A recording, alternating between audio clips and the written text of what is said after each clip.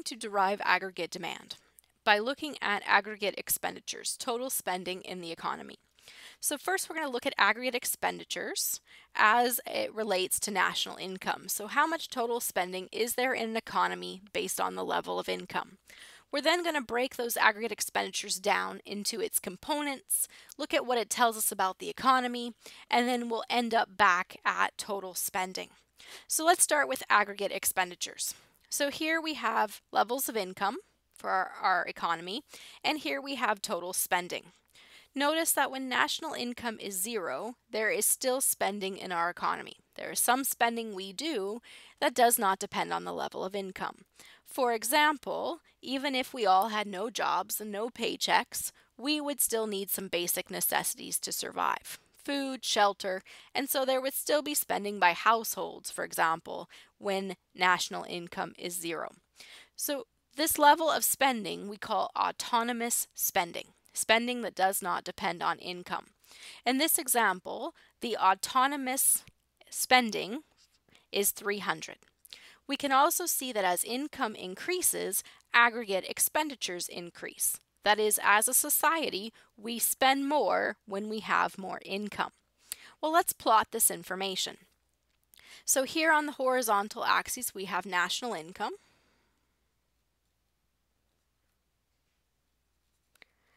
And on the vertical, we have our aggregate expenditures.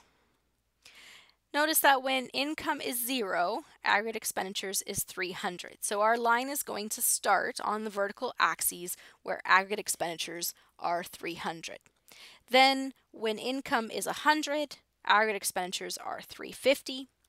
When national income is 200, aggregate expenditures are 400. And we can continue to plot the points all the way until national income is 800 and aggregate expenditures are 700. So we can connect our line here. And we want to come up with a formula for aggregate expenditures. We want to break it down into the portion that is autonomous plus the portion that is induced. So induced spending is spending that depends on income. So this Y here is a placeholder for the income level. We already said that autonomous spending is 300. To figure out the level of induced spending, which is going to be some number times y, we're going to need to find the slope. So slope is equal to rise over run, which is the change in aggregate expenditures divided by the change in income. So notice we go from aggregate expenditures of 300 to aggregate expenditures of 700. So 700 minus 300, that's a change of 400. The run is the change in national income. So we go from 0 to 800, which is a change of 800. So the slope that we have found is 0.5. This slope has a name it is called the marginal propensity to expend, or MPE. So what this tells us is for every dollar of income in every additional dollar of income in our society, the economy is going to spend 50 cents on itself. So our slope here is 0.5 and our total aggregate expenditures is 300 plus 0.5y. Now this y is a placeholder. If, for example, income is 300, then aggregate expenditures would be 300 plus 0.5 times that 300 income. And so total aggregate expenditures would be 300 plus 150 or 450.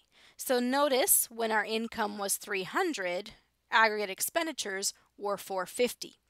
Part of that 450 is the autonomous spending we do regardless of income level, plus an additional 150 of induced spending That's the spending that depends on the level of income. Now, when we look at aggregate expenditures, this function, what we do is we want to determine where the economy is at equilibrium. How big is this economy? Well, to do that, we draw a 45 degree line that shows all the points where income and aggregate expenditures are equal. So we'll draw our 45 degree line and here's the 8 and 800, here's the 700, here we have our 600 and we can connect this 45 degree line crossed. And notice that it shows us the points where income is equal to aggregate expenditures. So for this economy, national income equals aggregate expenditures when the economy has an income level of $600.